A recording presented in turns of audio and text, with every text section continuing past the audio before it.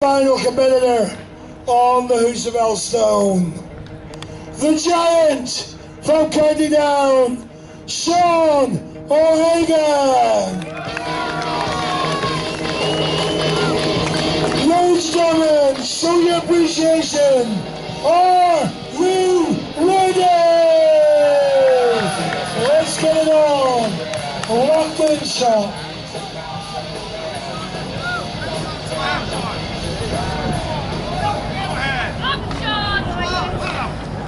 And away he goes. Looking really strong as Sean. Unbelievable. Never looked at this stone before.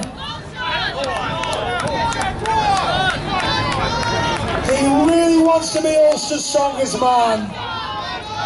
This could be a massive distance. Oh, and that's on the lines. That's 26 meters on the nail. Gives him a second spot. So we'll do the scores on the doors.